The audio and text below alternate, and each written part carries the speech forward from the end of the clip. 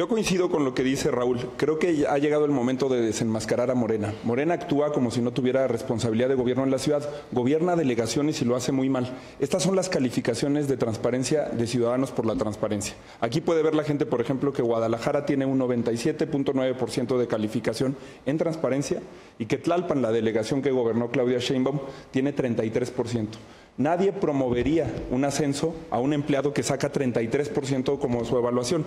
Lo que ha hecho Morena una y otra vez es demostrar eh, su falta de resultados, su falta de compromiso. La gente no vive mejor hoy en Tlalpan, no vive mejor en Cuauhtémoc, no tiene una política de gobierno local y han vivido bajo la sombra de un personaje político. Eso no le sirve ni le resuelve los problemas a la gente de la ciudad. Por eso nosotros lo que sí planteamos es una estrategia de seguridad de gobierno de coalición integral de la mano de la sociedad civil.